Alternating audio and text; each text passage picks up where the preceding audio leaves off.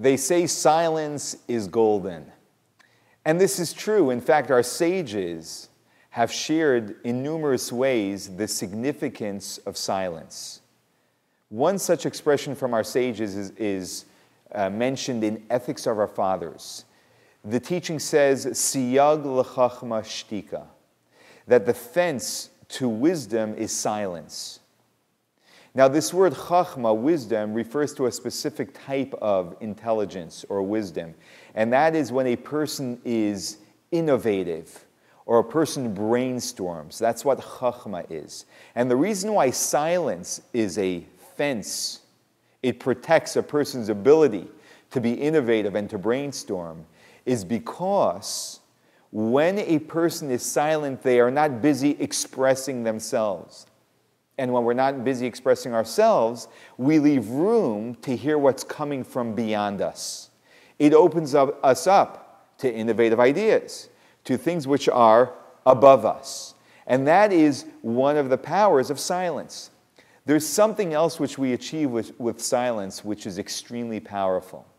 And that is that when we are silent, we are making room for another person. You know, you cannot listen while you're talking, but you can listen when you're silent. When we are listening to another, we are making room for another. And this is the power of silence, the ability to give another person their space. And so, at every single moment of our lives, we are actually making this choice of taking space or making space.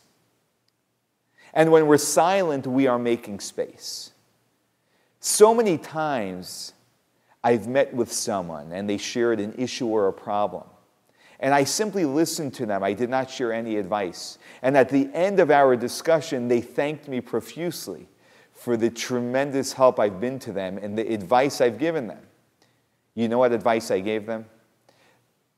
The advice of simply being silent so that they can be and express themselves. In fact, I myself personally have experienced numerous times that when I shared a problem with a friend and they simply listened to me, at the end of sharing the problem, I had the solution.